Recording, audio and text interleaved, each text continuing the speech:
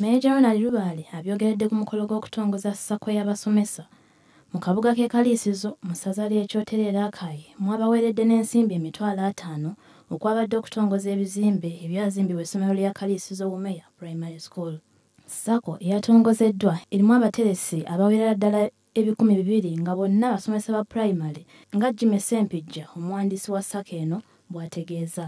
Sooka okwongera okuwandiisa bamembers era abapya okuva ku nsanvu mu abataano be tuliko kaakati okutuukira ddala ku bamembers bibiri. Ekirala okwongera ku mutemwa.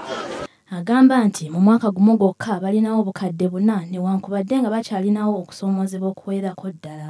Meeja ronald rubal ategeezezza nga gavumenti bwe yateekawo ssente ez'okwekulaakulanya era mwasabidde abasomesa bonna okukolawo zissako kubanga gavumenti tesobola kuyamba muntu sekinnoomu gavumenti teyinza kulaba omuntu kinoomu eraba abantu nga begasse era omutima gwe bwegasse bawagira nnyo. Kati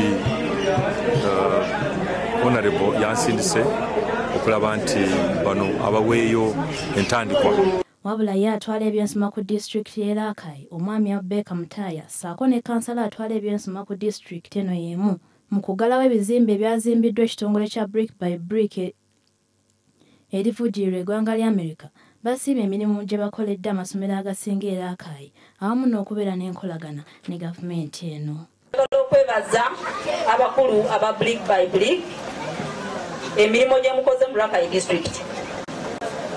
Kubanga nfu wano omukulu w'essomero eryo waggulu farida nalugo ewatongozeddwa ebibiina asiimye enkola brick by brick gy'ekozeemu emirimu gy'essomero lyabwe. Era kwe kubasaba okubongerayo n'ebibiina ebirala.